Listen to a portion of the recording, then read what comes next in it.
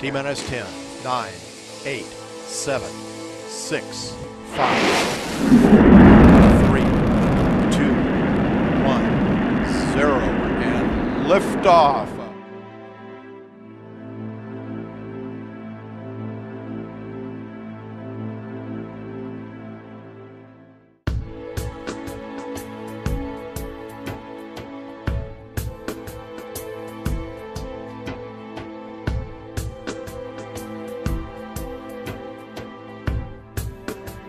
Northwestern's Martian habitat adopts a unique 3D printable inner spherical shell and outer parabolic dome. Through the utilization of space, material, and constructability, the habitat is set apart, creating a superior internal environment, stable and protected against the harsh Martian climate. This is made possible by three distinguishing features. The first key aspect is the internal shape of the structure, which is made possible by printing over an inflatable pressure vessel, an essential part of the cargo brought to Mars.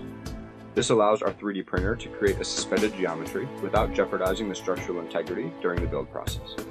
This pressure vessel will also later serve as the primary barrier for maintaining an internal atmosphere, which the structure itself could not hold alone. The second feature of note is our entryway system, the entryways extend from opposite ends of the structure and serve as the primary entrances and connections for astronauts, rovers, and equipment that will be essential for the daily work on Mars. These connections are laid out on the main axis to permit future junctions with other pod units.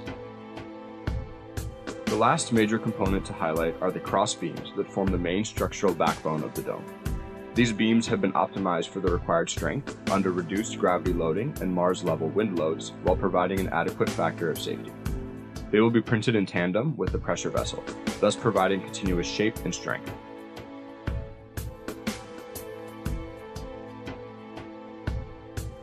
The interior layout is where this design truly sets itself apart. The entire interior is based off of separating wet areas from dry areas. Wet rooms, such as the lab and the kitchen, are on the opposite side of the habitat from dry rooms, such as the bedrooms. This allows for a concentration of plumbing and mechanical units within the wet side of the habitat, which decreases the overall amount of resources necessary to create this habitat, as well as eliminates excess materials running through the structures, floors, and walls. The placement of the various rooms in our habitat also demonstrates an intuitive understanding of how astronauts would move around and use the space. The concentration of the bedrooms and bathroom alongside an interior hallway creates privacy and allows for further separation, not only of the wet and dry sections, but also of the public and private.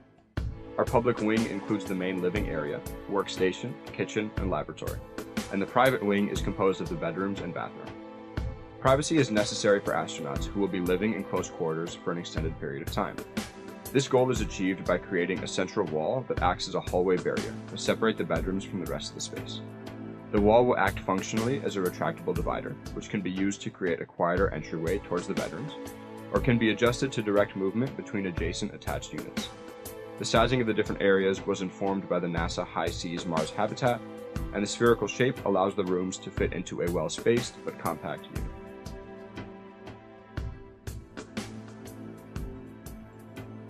Additionally, this design affords the ability to combine multiple units into a large community of habitats.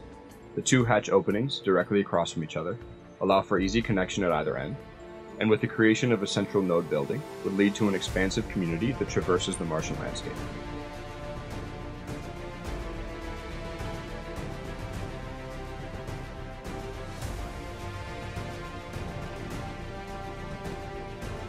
Our vision of the Martian habitat combines effective structural engineering, the ability to build using Martian materials, an intuitive floor plan that creates private and public spaces while combining mechanical systems for each construction, and the ability to connect habitats to create a community on the planet's surface.